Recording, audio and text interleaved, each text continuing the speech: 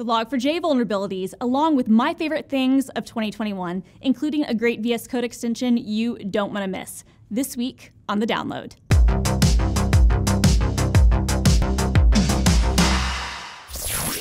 Welcome back to another episode of The Download. I'm your host, Christina Warren, Senior Cloud Advocate at Microsoft.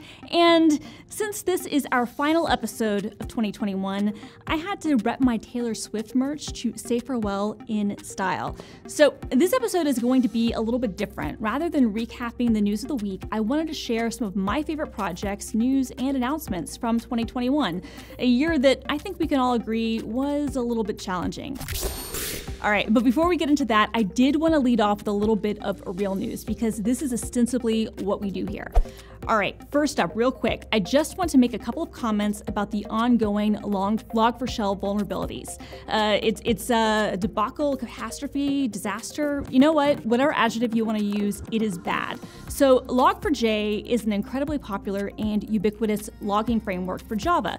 It's used in countless projects and runs on millions, probably tens of millions of web servers. So on December 9th, a zero-day vulnerability was disclosed in Log4j that's really, really bad. Like real bad.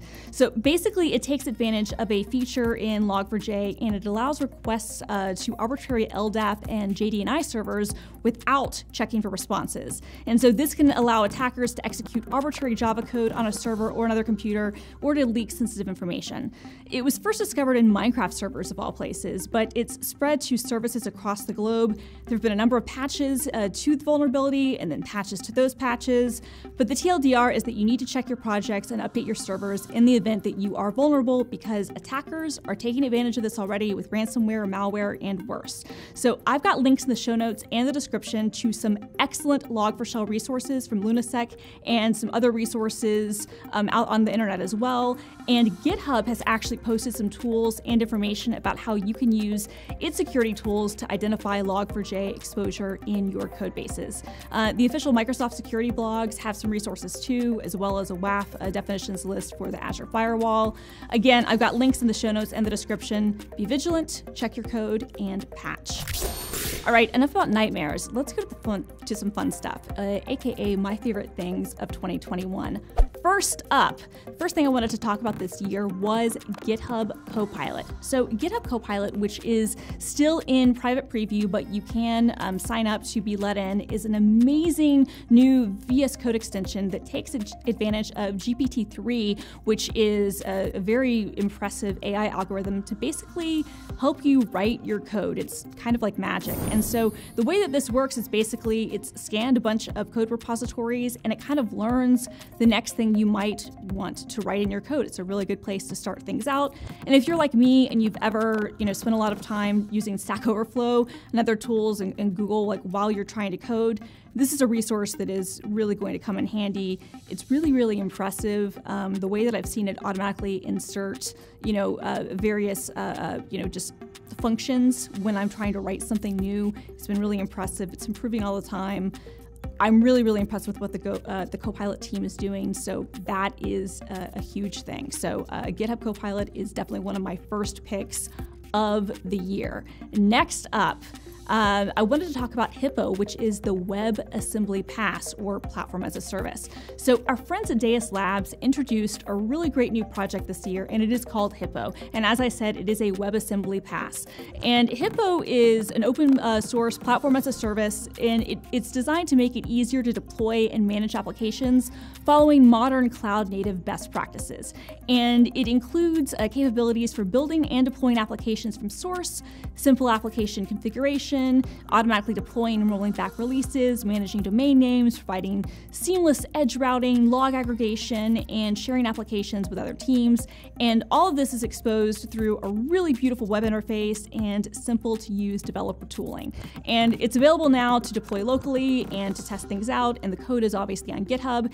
And as someone who's really excited by WebAssembly and the capabilities there, uh, this is a really great use case of the tech, but it's also a really cool PaaS. So huge fan. Congrats to the Deis team team. All right, next up, I wanted to talk about Windows 11, which was a massive release this year. And um, there were lots of great new features in, in Windows 11 for users, but also for developers. There's the, the new uh, Win SDK, the Win UI uh, uh, framework. Um, there's also some great new design features. The new Fluent language just looks awesome. And the Microsoft Store has actually really, really been improved, meaning that you can um, you know, submit applications from lots of different sources. You can even bring your own payment processor. A lot of the stuff is really good. I also personally love some of the new fonts. Uh, so there's some, some variable width fonts that are there. It's really great. Windows 11 is available now. Big fan. So uh, check the links in the show notes in the description for more resources. Next up, I wanted to talk about .NET 6. Now, .NET 6 launched uh, about six weeks ago, and we've talked a lot about it here on this show, but it is really worth mentioning. Uh, it is a it is a long-term servicing release, which means that it'll have support for uh, years into the future. And then this is a big deal because this is a big unification release of, of all the disparate parts of .NET's past into one um, long-term service release. So it's a really, really big deal. It also adds new features like Hot Reload, uh, which has a lot of people really excited, and um, it's it's it's cross-platform. Obviously, there's a lot of great stuff. The the .NET Conf uh, took place about uh, a month and a half ago. We'll have links in the show notes um, uh, down below for that. But .NET 6 is available now, and it's great.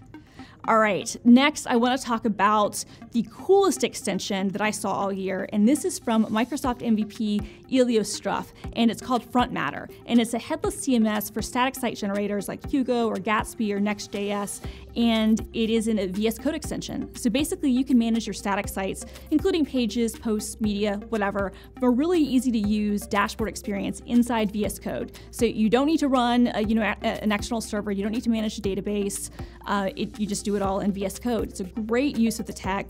I'm really, really, really big fan, and um, it's open source. It's in the GitHub Marketplace. Elio, thank you and congratulations.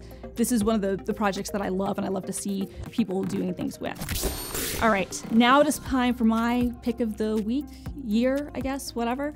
All right, so uh, longtime viewers of the show will know that I am a huge Taylor Swift fan clearly. And uh, Taylor Swift re, uh, did not release any new music this year, but she did re release two of her previous albums, including Red, which is like the greatest album that she's ever released, and uh, she she did her own version, uh, re-recorded, as well as some vault tracks. There's a 10-minute version of All Too Well. It's the best, genuinely, and so uh, Christina's version, uh, pick of the week, uh, pick the year, is Taylor Swift's Red. So love that.